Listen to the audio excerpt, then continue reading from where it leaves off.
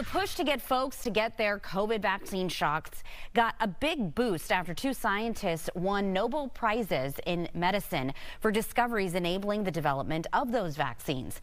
The 2023 prize in medicine was awarded for the creation of mRNA technology used for immunizations during that outbreak. Both health officials are making a big push for a vaccine wary public to get the latest booster shot. Data shows fewer than 20% of Americans got the last booster.